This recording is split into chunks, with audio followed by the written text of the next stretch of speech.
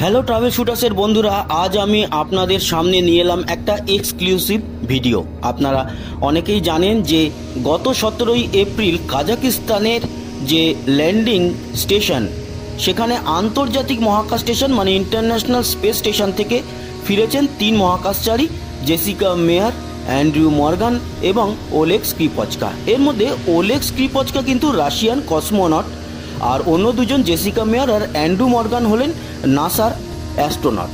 নাসার দুই অ্যাস্ট্রোনট সতেরো তারিখ কাজাকিস্তানে ফিরে, সতেরো তারিখ রাতের মধ্যেই তারা রাশিয়ায় রসকসমসের যে সেন্টার, সেই সেন্টারে চলে এসেছিলেন। তারপর চার পাঁচ দিন কাটিয়ে রাশিয়ায় অবশেষে গতকাল আমেরিকার রাত্রিরে ফিরলেন আমেরিকার মাটিতে, তার নিজের দেশে।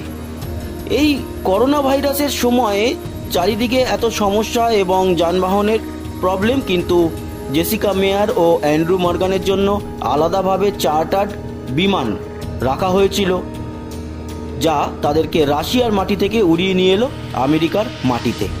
সেখানে তাকে সম্বর্ধনা জানালো তার কলিগরা, নাসার বেশ কিছু গ্রাউন্ড স্টাফ ছিল, ছিলেন ক্রিস্টিনা কোচ, যিনি নাসার আরেকজন অ্যাস্ট্রোনট এর আগেই আন্তর্জাতিক মহাকাশ স্টেশন থেকে তিনি ফিরেছেন। আর জেসিকা মেয়ার, অ্যান্ড্রু মর্গান ওনাদেরকে, যেহেতু ওনারা বিদেশ থেকে ফিরলেন, তাই নির্দেশ অনুযায়ী ওনাদেরকে চোদ্দ দিনের হোম কোয়ারেন্টিনে থাকতে হবে। এরপর সবার সঙ্গে ওনারা মিললেন এবং মেলার পর বাড়ির দিকে যাত্রা করলেন।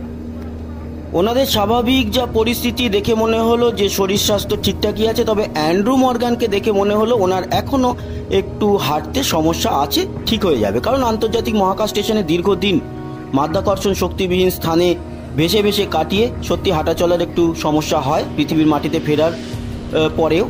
তো এটা ঠিক হয়ে যাবে। আর জেসিকা মেয়ারের বেশ সুস্থ সবল লাগল। তো বন্ধুরা, এই ছিল ছোট্ট একটি ভিডিও। যে ভিডিও মারফতে এই অপূর্ব দৃশ্যটা আপনাদেরকে দেখালাম এবং সমস্ত জিনিসগুলো আমরা ফলো আপ করতে থাকব। আগামী আরও যা যা এই সুন্দর কোনো ভিডিও আমাদের হাতে আসবে আপনাদের কাছে আমরা নিয়ে আসব। ধন্যবাদ সবাই, ভালো থাকবেন, সুস্থ থাকবেন। আবার পরবর্তী অন্য কোনো সুন্দর একটি ভিডিও নিয়ে আপনাদের সঙ্গে দেখা হবে। কমেন্ট বক্সে জানাবেন আপনার মতামত আর লাইক শেয়ার অবশ্যই করবেন। ধন্যবাদ। যাওয়ার আগে শুধু একটাই কথা বলব আপনারা লকডাউন মেনে চলুন। এই করোনা ভাইরাসকে রুখতে কিন্তু লকডাউনই একমাত্র সফল রাস্তা। এবং আগামী দিনে আশা করি এই সমস্ত কালো মেঘ কেটে যাবে, আর আমরা আগামী দিনে আরও সুন্দরভাবে বাঁচব। ধন্যবাদ।